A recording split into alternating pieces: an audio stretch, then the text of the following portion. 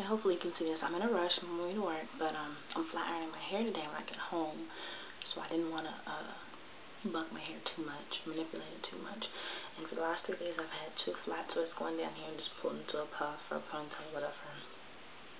And so today, I did the same thing. I just kind of cocked the ponytail to the side just a bit, um, and rubbed some Echo around the perimeter of the puff just a little bit. Um, and then I'm going to wet the puff. Cause I'm going to wash my hair when I get home. So, did I just spray the camera? Sorry. Anyway, um, wet my puff with my water and glycerin mix. And take just a little bit of Echo in my fingers.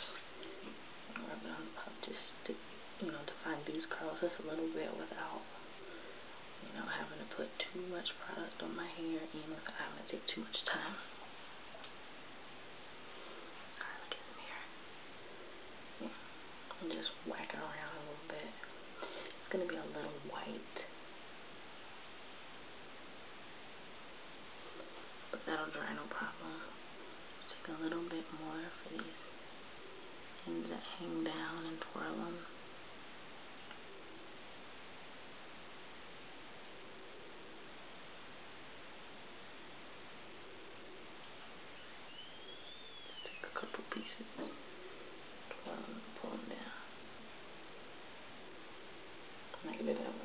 Just a couple pieces here and there.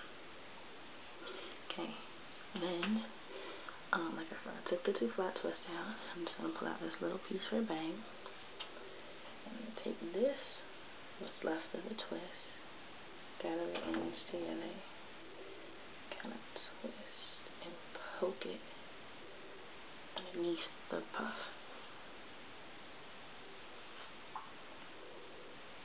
Uh-huh and then grab a bobby pin.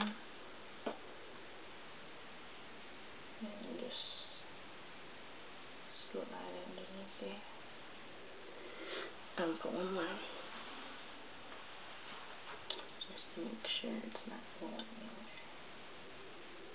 a little you know, further away from the base to make sure there aren't any sh shorter ends that'll flop down later on. And I'm just going to do the same thing on this side, except I'm not going to leave any pieces out on this side. Twist the pieces together and tuck it under.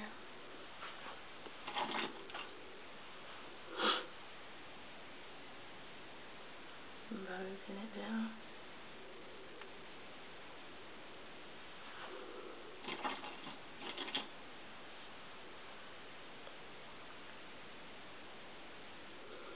I really like this. This is a total accident, and I really think it's super cute.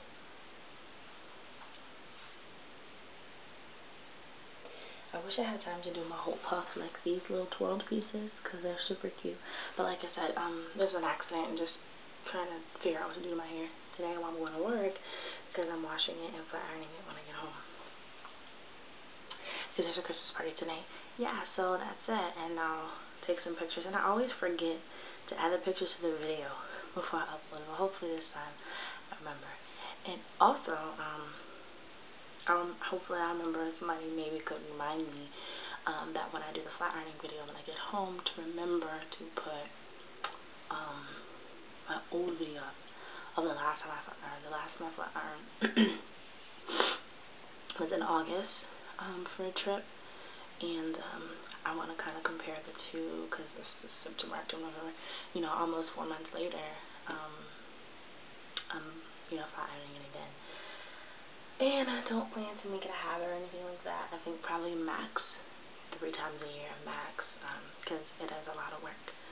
Um, and, you know, it poofs right back up. Like that day I flat ironed, like, the same day. Because I was in Tennessee, Nashville, Tennessee, and it was so hot. I, I don't know why I decided to walk somewhere that day, and it just. So hopefully that will happen this time. I have a new technique. Um, I was actually thinking about trying with a grease. I saw a girl on YouTube that used like just a tap of grease on each strand, and original product was that it made it look a little weighed down, like it wasn't as bouncy. but it doesn't revert. Like she can wear her hair for two weeks without it reverting at all, without having to touch down. So that's something to think about. You know, a little less bounce, but staying straight. You know, for a couple weeks. I don't know. I'll think about it, and I'll let you guys know.